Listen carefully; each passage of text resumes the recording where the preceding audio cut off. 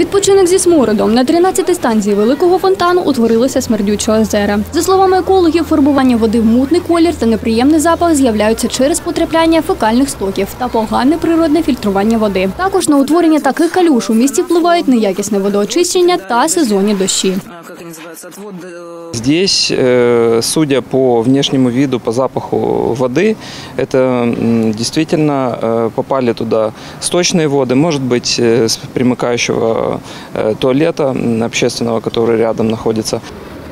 Для людей наслідки стоку води в море можуть бути різними, наприклад, скінчитися кишковими інфекціями. Это могут быть и опасные достаточно возбудители бактериальные, такие как э, золотистый стафилококк, который очень, очень и очень сложно э, излечивается, вирусные заболевания, гепатиты и ряд других. Одесити та гості міста не підозрюють про небезпеку. Пляжі переповнені відпочивальниками, які, попри попередження, не збираються змінювати пляж. Нет, мы первый раз на море, поэтому мы не боимся. А купаться страшно. Ну, здесь всегда так было. Ні, не страшно. Я там не була, не бачила. Ну, конечно, страшно. Мы не знали, что тут сток, если честно.